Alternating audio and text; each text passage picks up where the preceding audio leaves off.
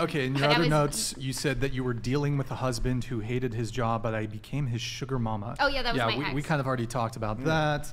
Um, let's see. I didn't think you guys were actually gonna like call me out on this stuff. I just put I, I sent it in like real quick. So were you?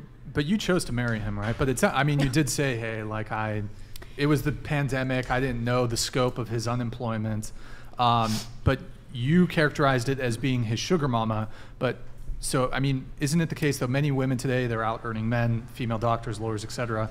So, like, why is it that a male breadwinner is considered normal for a man, but when a female is a breadwinner, it's considered to be dating down? Well, I see where you're sugar going with that, but it what it you remember I said he was not ambitious? Like that was the issue, right? If you're like working hard and helping out and you just make less than me, like go So- for it. But if you're gonna sit there and be lazy and I have to provide for you, that's when you feel like a So sugar kind of mama. like What did his lack men.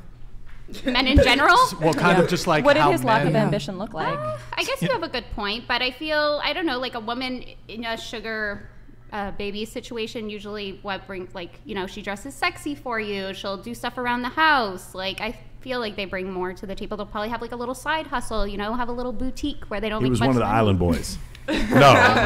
Oh my God. if if you if you were making like significantly more and he said, "Hey, I want to not work anymore since you have the funds to You guys, I'm that." not like a, a bajillionaire here. I'm still working I mean, hard. could- for most my men money. aren't bajillionaires Yeah, either, but like, but- it wasn't enough that oh, I make so much money where I can take care of us both and live lavishly. Like, you need to, im- you know, bring something too. Like, I, it was just his um, demeanor about it, and like, like I said, just no ambition. That's So the turn on. I'm, I'm, I'm curious, who was better in bed, your husband or Tekashi Six Nine? Which one was? oh my Which God, one was you better? Get over He's it. Hey, okay, I was, I'm checking though. I want to see a reaction. Yeah, yeah, no, no, go, Yeah, exactly. Yeah, got He is. He She pa- can she can lie about the race of the rapper. I know. I know. he- I know he's Hispanic. She's like mm, Eminem.